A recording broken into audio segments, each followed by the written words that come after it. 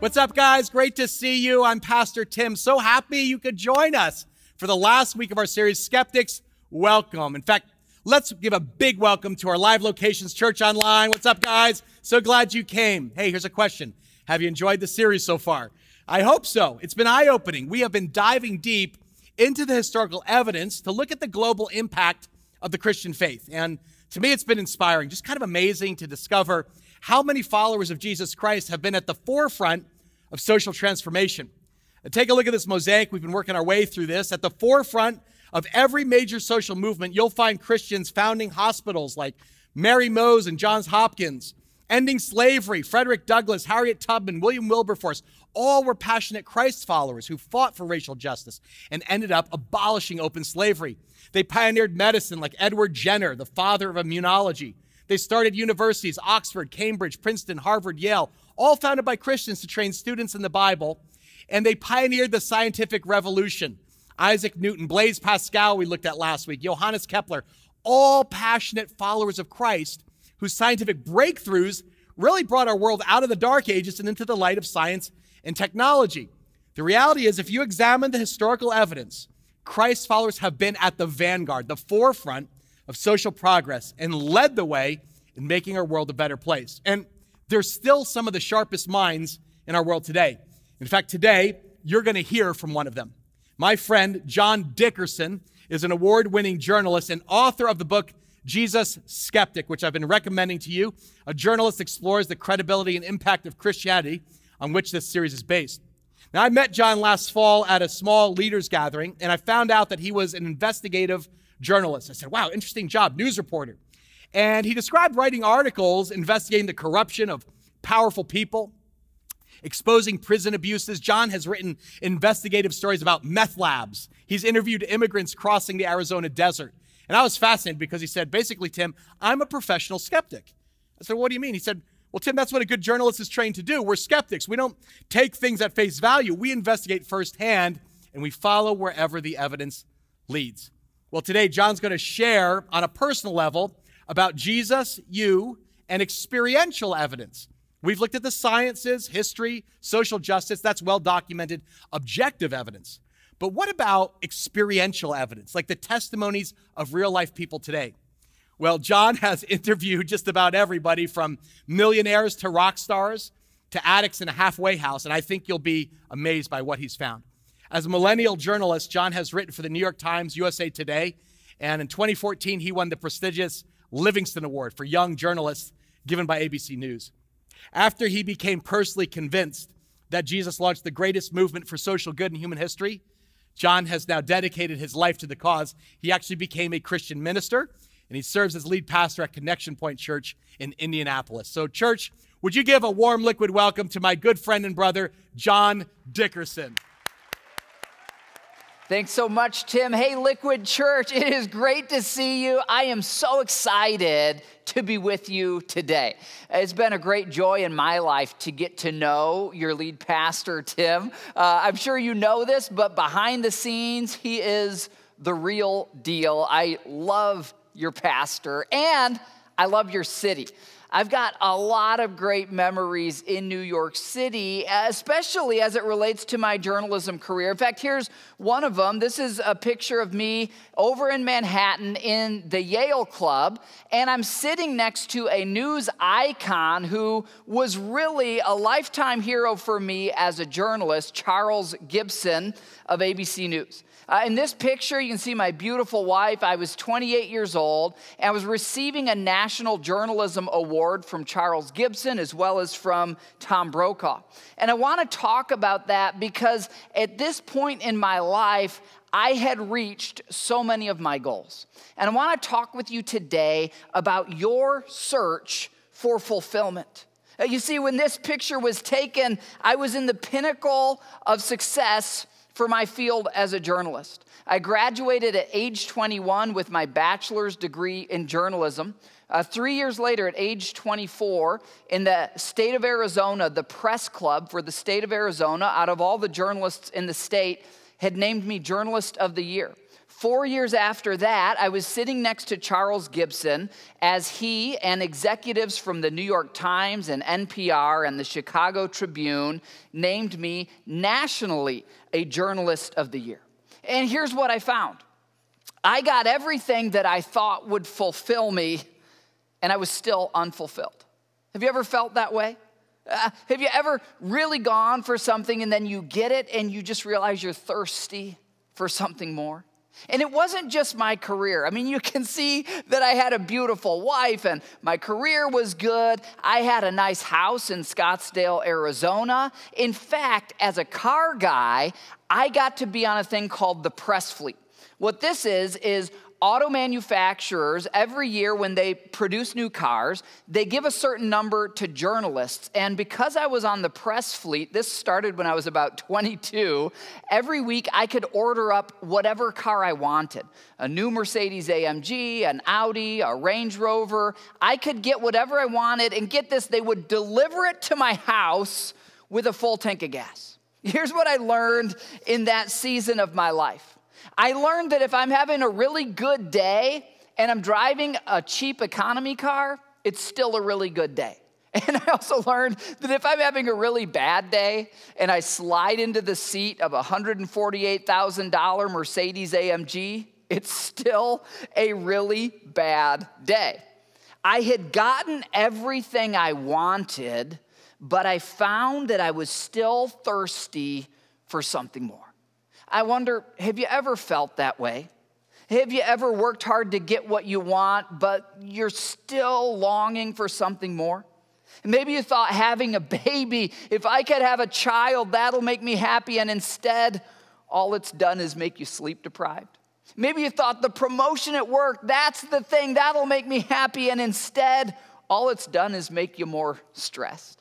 Maybe you thought, oh, the bigger house, that's the thing. We'll get the bigger house, and now it's just more space to clean and maintain. Maybe you thought, if I could marry that amazing person, that will give me happily ever after. And you did, and then you learned that marriage is a lot of really hard work.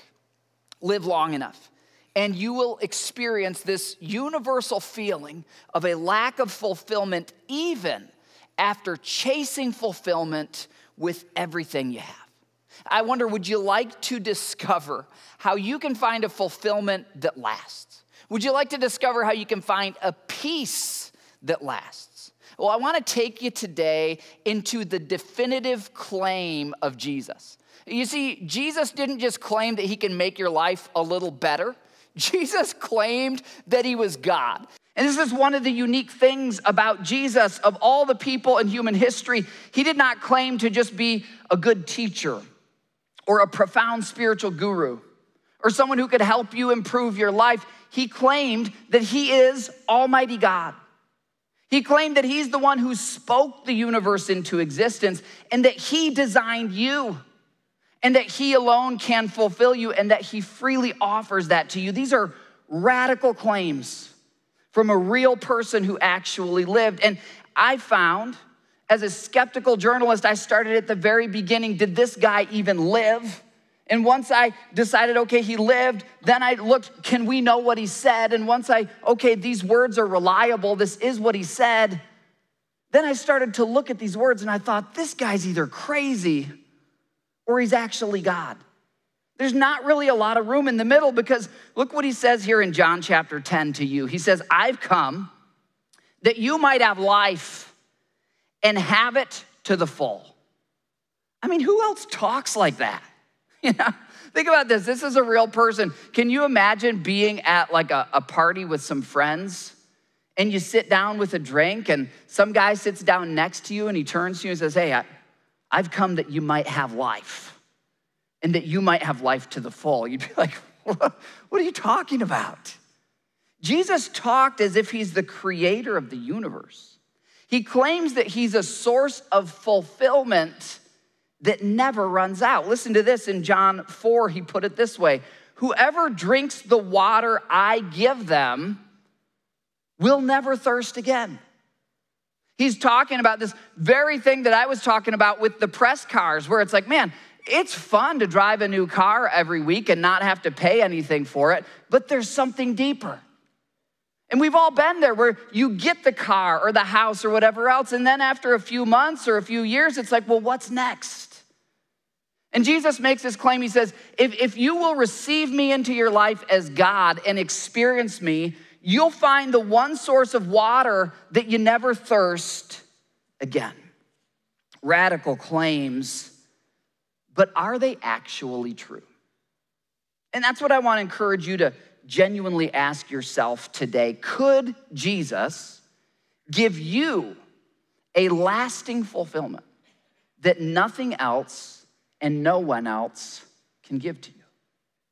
I spent probably, if you count my college years all the way through my journalism career, more than 10 years researching the existence of Jesus and then the ancient manuscripts. I'm such a nerd that I went and learned ancient Greek because I wanted to know like, can we trust this thing that's called the Bible? Have they fiddled with the original language? And I'm such a nerd. I compiled so much evidence, and I found that it all falls into really three basic categories. There's ancient evidence. Ancient evidence would be things like Josephus and Suetonius and Tacitus, non Christian writers of Jesus' era who described this Jesus of Nazareth who claimed to be God. And when I found those ancient writings and ancient artifacts, it affirmed to me the church didn't make up this Jesus guy. He clearly lived. And there's all sorts of ancient evidence, but then there's external evidence External evidence is really the human record from the time Jesus was born until now that we can measure objectively how he has impacted humanity. For example, every time you're filling out something online and you have to put in your birthday, and it asks you the year that you were born, why does that year start with a 1900 or a 2000 when we know that humanity goes back far longer than that? Because the year zero on our calendar is the year when Jesus was born. That's how profound his impact is on our world. That every time an atheist writes their date, they're actually referencing Jesus. And there's all sorts of external evidence, and we'll get into that throughout this series. But today, I want to talk with you about something that I call internal evidence. Now, at first, internal might sound subjective. And in a sense, internal is subjective, but here's the thing you're the subject. There are claims that Jesus makes that you'll never know if they're true or false unless you try them. For example, uh, in the Word of God, God tells us this You will seek me and you will find me if you search with all your heart. And I reached a point in my quest for fulfillment, in my research of Jesus, where I realized that yes, it is intellectually valid uh, some of the most brilliant people who've ever lived have been followers of Jesus. For example, Isaac Newton, Blaise Pascal, C.S. Lewis. You don't have to be dumb to believe in Jesus, it's intellectually valid. However, there comes a point where it has to move from the head to the heart. And I realized as I read these claims of Jesus that I'm never gonna know for sure if they work or not unless I try them. Here's what I mean. As a news reporter, I learned early on, right when I finished my undergrad, my first newspaper editor assigned me to write a story about skydiving in Arizona. He said, John, I don't want it to just be a human interest story. I want the statistics. What percentage of people die? How high do they bounce off the ground if their parachute doesn't open? That's how twisted my newspaper editor was, okay? Arizona's a skydiving mecca, and that's where I live. There's no clouds, and the weather's good. And so I did all this research. And he said, Okay, John, now that you've done everything about you know, the statistics, the facts, I want you to go and go skydiving yourself. And I want you to weave that into the story and describe what is it like. And I learned that as an investigative reporter that there was the intellectual side to a story, but then there was the experiential side to every story. Uh, for example, whenever I was covering crime, no, I would not go and do the crime, if that's what you're thinking, okay? But I would have sources who would get me into the drug house where the heroin was sold so I could see it. I would ride along with the police officers who covered those beats. Why? Because there's part of any story that is fact, And there's part of any story that you've got to just be there to really know the truth of what's going on. And I reached this point in my investigation of Jesus where I needed to do a ride along. So I grew up in Michigan, and we would often go camping up in Canada. And when we did, there was this massive lake up there called Lake Matinenda. And there's a waterfall, a stream that runs into the lake. It's probably considered a river here. And uh, it would vary in width depending on what year and how full the river was. This picture is a year where the river was a little bit lower and it wasn't as wide. But on one particular year, I was about nine years old, and my three older brothers, they're all incredibly athletic. They're jocks. And I know what you're thinking. I did not get the gene, okay? I didn't get that gene. I, I got the nerd gene instead, okay? But we were at this waterfall. And as you can see in the picture, about halfway down, this waterfall goes down these stairs, and they're probably each, I don't know, six to 10 feet high if you're up close to the waterfall there. And in the middle, there's this pool, and then the waterfall begins again. Well, we were uh, kind of fishing and setting up for a picnic, and one of my older brothers, incredibly athletic guy, decided at the top of the river, where the water looks very smooth, that he was gonna inch his way across and just kind of demonstrate that he was stronger than the waterfall. I'll never forget because I saw him out of the corner of my eye. One minute I see him, and the next I just hear this whoosh, whooshing noise. And I look back and he's gone. I mean, like that, the, the waterfall had taken him down a number of those steps, and in the middle where there's this big pool, the water's just, you know, going straight down. It's, it's burying. And my other brothers, we run there and we're waiting, like, is David's head gonna pop up out of the water? And we keep waiting and his head's not popping up. And now, if any of you are a youngest and you grew up in a small home and you always had to share a bedroom, you probably know what I was thinking at that moment. it's true, I'm a terrible person. I was thinking, if he doesn't pop up, I'm gonna get his bedroom. He did pop up and he lived and everything was fine. But here's the thing my brothers and I, we will never again underestimate the power of moving water. We've learned that no matter how strong you are, if you step into a powerful current, the current is gonna take you where the current is going. And it's a great picture because in life, we all get carried along by different currents.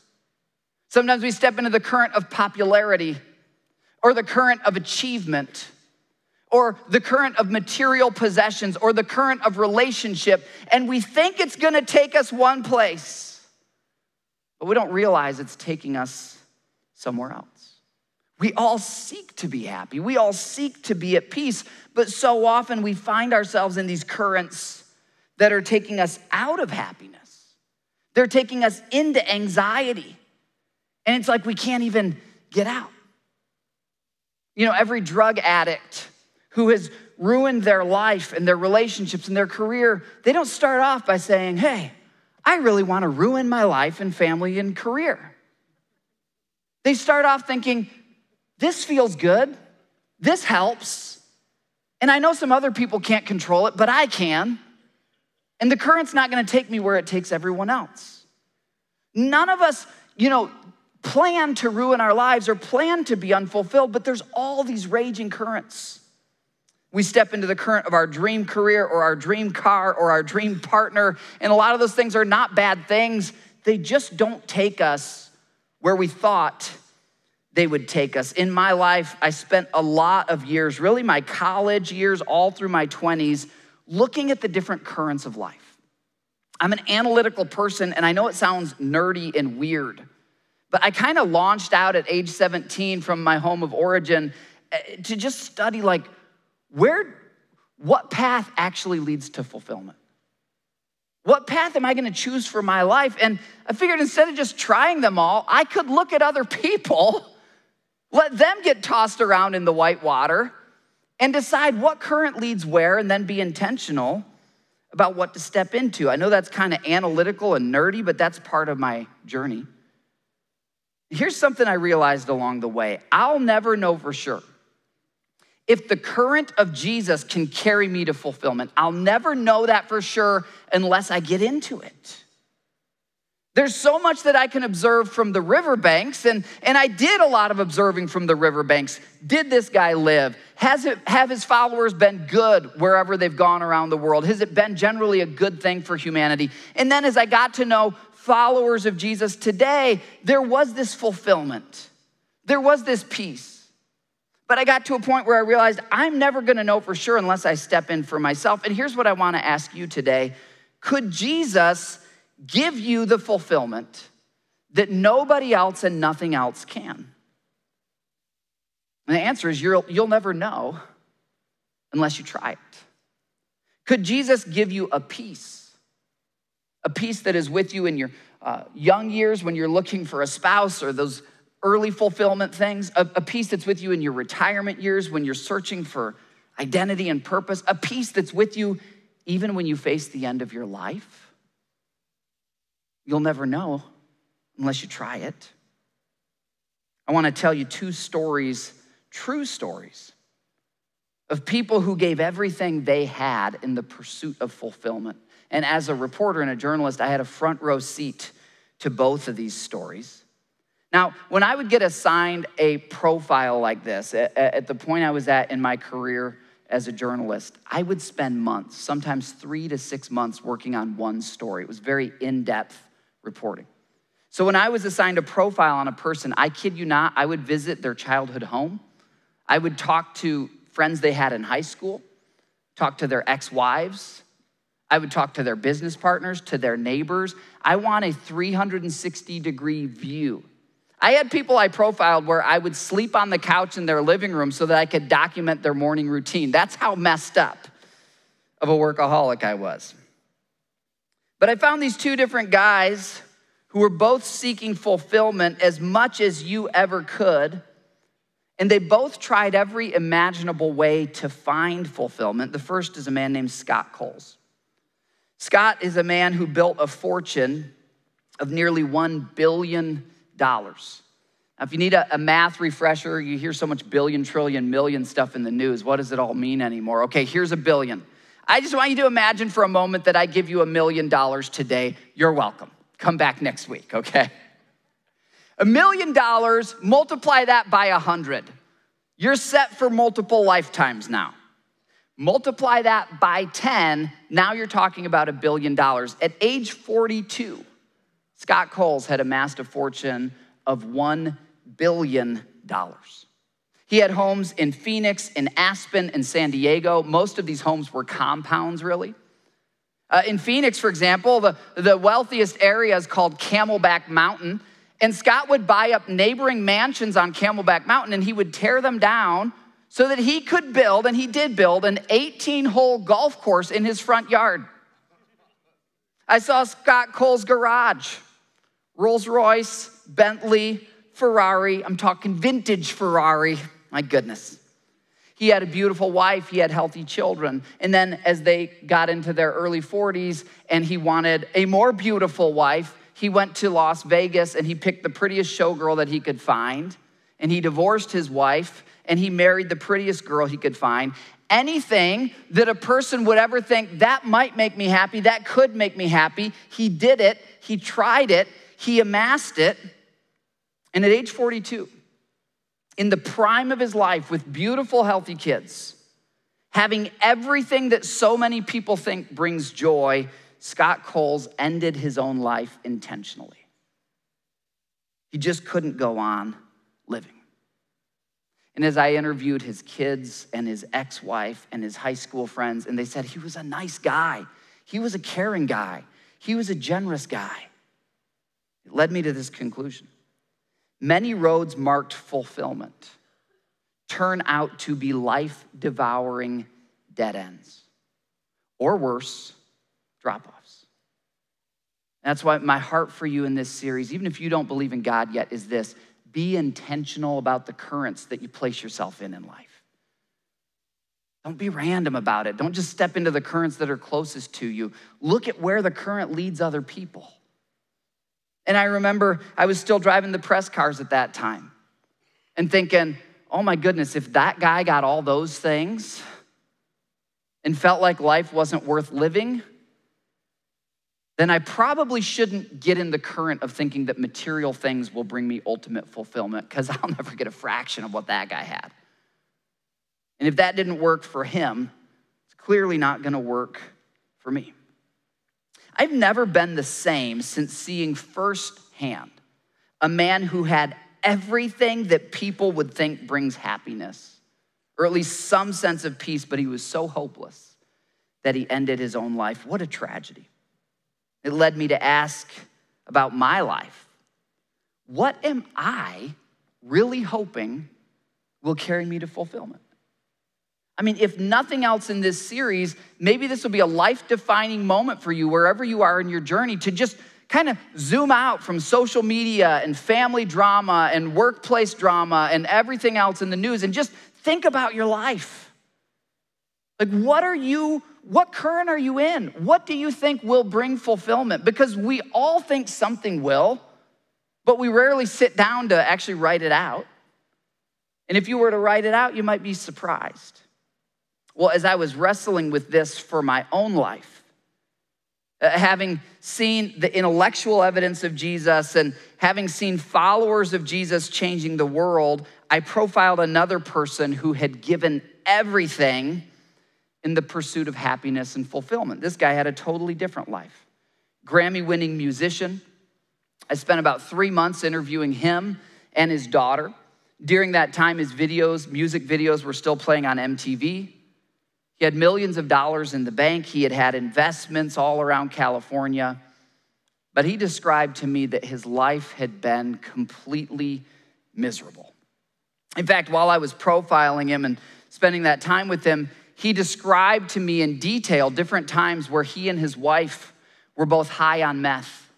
And they would get into these violent physical altercations while they were under the influence of that drug. He described to me a time where he looked down at his knuckles and he saw his wife's blood on his own knuckles because they had been fighting so aggressively. He described another time where a, number of famous musicians and artists had come over to his house for a huge party, and there was a lot of drugs and a lot of pleasure. And he woke up in the morning and he went out to the pool, and his two year old daughter was curled up on a towel right by the edge of the pool, and she had slept there all night. And even through the drug brokenness of his mind, he just realized my life is a mess. But he had gotten there by going after fame, getting it, fortune, getting it, achievement, getting it, possessions, got it, experiences, he tried it all. And it just led him lower and lower into this darkness. There was a key moment in Brian's life story where on an Easter Sunday morning, he walked into a church a lot like this near Bakersfield, California. His brain still half functioning from drug addiction, broken in life from the pursuit of fulfillment, currents that had beaten him up. And he doesn't remember everything from that Easter message, but he remembers these words of Jesus, where Jesus says to you and me, Come to me, all of you who are weary, all of you who are burdened, and I will give you rest. What a claim from the guy who claims to be God, the guy who claimed to knit you together in your mother's womb. And here's why Brian's story has such a different ending than Scott Coles' story. See, Scott Coles never gave Jesus a try. From all the people I talked to, he just never considered it. He ridiculed it from the riverbanks like I used to do, but he never tried it for himself. Brian said, Hey, I've tried everything else.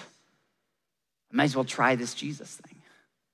And on that Easter Sunday, he chose to give it a try. And he called out a prayer God, if you're there, I believe. Jesus, if you're there, I need this. You say you give rest to the weary, you help the burdened. If you're there, I need that. And all he did with, I mean, a, a childlike mentality through that brain confused by drugs, said, God, if you're there, I want your help. Jesus, if this is true, I need you in my life. And part of Brian's story is that then within about two months, after having been a drug addict really since high school, he had started with marijuana in high school and it had just kept leading him deeper and deeper all the way to heroin and meth. Been a drug addict for more than 10 years, and within three months, he was sober. And that's the part as a journalist when I heard that, I thought, no, no, that does not happen. I'm gonna spend three months with this guy and I'm gonna find out the truth. And the truth, as I hung out with Brian and his daughter, who was in late elementary at that time, was that he had totally transformed, that he had changed from the inside out. He had intentionally given away a lot of the wealth. He didn't need that stuff anymore.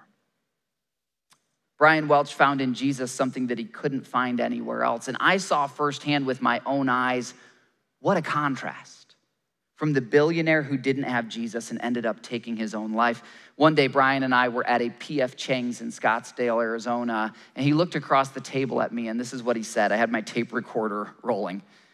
He said this I had $3 million in cash sitting in the bank, all the cars I wanted, a $200,000 pool. I don't know how that's even possible, but apparently it is. Nannies, the nicest house, real estate in California, and I was miserable. I mean, just think about that for a moment. Nothing wrong with a $200,000 pool if you have the money and you want to spend it that way. But if you think it's going to bring you fulfillment, be smart enough to look at other people who've gone down that current. What a shame it would be to work your entire life and get into your 60s or 70s or 80s and look back and be like, I gave everything. I only got a fraction of what these other guys got, and I could have known from the beginning that wasn't going to fulfill me. But I love what Brian said after that. He says, Then I found God and was like, This is all I've ever wanted. I didn't find what I was looking for in all that stuff. You know, if you're seeking fulfillment and inner rest, you're the kind of person who Jesus invites and helps. And I want to be clear there's nothing wrong with these other things that can fulfill to a level. God wants you to have a rich and full life, but the deepest fulfillment isn't found in getting outside things and bringing them in. It's found in connecting to the creator of the universe internally. And then having a source of joy and fulfillment that kind of bubbles up from within through all the different seasons of life, through all the economic ups and downs and relational ups and downs. And I just wonder where have you been exhausted in your hunt for fulfillment? Where have you maybe been let down in your quest or your search for fulfillment? Where has your soul been full of anxiety rather than rest? You can come to Jesus today in the same simple way that Brian Welch did on that Easter Sunday. Well, I want to tell you about just one other person this is a skeptic. And it's a totally different personality profile because you might be listening and thinking, okay, John, interesting stories, helpful to know, but I really don't expect millions of dollars or worldwide fame to make me happy. Maybe you're more like me. Those things have never been options for me, okay? But, you know, I'm a pretty good guy. Part of my story before I became a fully devoted follower of Jesus, I didn't go on some drug binge. I, you know, graduated from college early and I worked hard and I did all the right things. But I found that still I was lacking something. And so, wherever you find yourself on that spectrum of what you're pursuing for fulfillment, I've found the same thing to be true that I found in Jesus something that's not available anywhere else. And this next guy I want to talk to you about is a person who maybe you can relate to because he was a good guy. He kept most of the rules. He wasn't addicted to anything. He even believed that Jesus existed. In fact, he'd seen Jesus with his own eyes. But this whole thing that Jesus is God and could meet his deepest needs, he was not buying that. He was a skeptic in that sense. Uh, in fact, this guy got so annoyed with Jesus claiming to be God that he would make fun of Christians. He would even harm Christians. He would go around and mess with the Christians. This guy, his name was Saul. But eventually he would have an encounter with Jesus where Jesus showed himself to be God, and it so transformed him that he then became a follower of Jesus. And he then went around telling everyone, even when he would get imprisoned for it or whipped for it or beaten for it, Jesus is God. Jesus is the fulfillment that you seek. And here's how he put it in one of his letters, which is recorded in the New Testament. He says in Romans 1:16, I am not ashamed of the gospel. What's the gospel? Very simply, it is the good news that the God who made you loves you. That he came into this world as the person of Jesus and he willingly died on the cross to pay the penalty for your mistakes and mine. And that you can be made right with God not by doing a bunch of good things, but by simply believing and admitting your need that you need Jesus' help. And if you believe in the name of the Lord Jesus Christ, you will be saved. That's the gospel. And this guy who was a skeptic, a hardened skeptic, and who hated Christians, would become so transformed that he wrote, I'm not ashamed of the gospel. Why not? Because it's the power of God. And that's what I've found in my life. The good news of Jesus connects you to the actual power of God. You can have the power of God in your life. And it's a power that leads to salvation. So that you know when your body dies, you're gonna spend eternity in heaven with God. But not only that, it leads to freedom in this life and fulfillment. And this path, this current, it's available to everyone. God so loved the world that he sent his only son so that whoever believes in him will be saved. It's available to you today. But the question for you is this will you try it? Will you get in the current? Because it brings salvation to everyone who believes. From my own experience, I would say, and I think from Saul the skeptic's experience, your belief does not have to start out as a perfectly mature, fully formed belief. That's not how we're born, right? Wouldn't that be the weirdest thing? Like you're looking on Instagram and some mom has a baby and she's holding this like 48 year old dude with a beard. Right? Like we, we start as babies and we grow and we mature. You don't have to have every question about, you know, the history of the universe and every book of the Bible. You don't have to have all that stuff answered to say, God, I believe that you love me and you made me and I want this fulfillment. I want this relationship with you. You start there. And then he feeds you and he grows you. That's been my experience anyway. Jesus invites you to find fulfillment and rest in him. So, three very simple questions as we close today. First, have you ever really tried belief in Jesus for your own fulfillment? Have you ever really tried it? Maybe you were raised as a Christian, you've even been coming to church and you're like, yeah, I'm a Christian, but have you ever actually really said, this is what I'm putting my, my faith in to fulfill me? Have you ever really tried it? For your fulfillment and more importantly, for your eternal life. Second question for you today Have you forgotten Jesus in your search for fulfillment? Have you maybe just been sampling the things that are around you rather than being intentional to say, where will this path take me?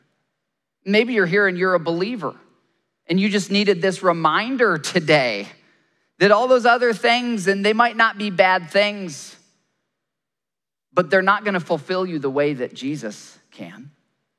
And then the third question I wanna ask you today Will you invite someone who needs fulfillment? Every day in your neighborhood, in your workplace, in your family. You're encountering people just like that 42 year old billionaire, Scott Coles. People who are desperate in their search for fulfillment. And apart from Jesus, they're not gonna find what they were created to experience. And Liquid Church, you've got an amazing church to invite people to. You've got an amazing pastor, an amazing movement of God and so, if you're here and you're finding new life in Jesus, invite the people you work with, invite the people you live with, invite the people in your neighborhood because, church, the people around us desperately need the good news of Jesus. The people around us are caught up in the currents of life and they're getting bashed in the white rapids against the rocks of life. They need the hope, they need the fulfillment. Well, wherever you are in your faith journey, I just want to pray for you today. I want to give you an opportunity to believe in Jesus, to call out to Him, whether for the first time or as a return to Him. And I'll encourage you if you're not sure where you're at spiritually. There was a time in my life I didn't know if God existed, but I said, God, if you're there, I want to experience you. Let me pray for you right now. Would you join me in prayer? Father, I ask right now for every person listening across every Liquid Church campus and those online as well. Lord, you're stirring in hearts. And God, I, I pray the prayer of the man who came to you who said, Lord, I believe, but help my unbelief. God, for every skeptic, for every doubter, for every weary traveler, I pray, Lord, that you'd help their unbelief. I pray that you would plant seeds of faith in us. And Lord, that with our will, each of us would reach out to you and just say, Jesus, I choose to believe you. Lord, for all of us who found new life in you, would you remind us today that you're the source of life and satisfaction? And Lord, would you use us in these next six days to invite our friends, our neighbors, our loved ones to join us at Liquid Church and be part of what you're doing. We pray it all in Jesus' name. Amen.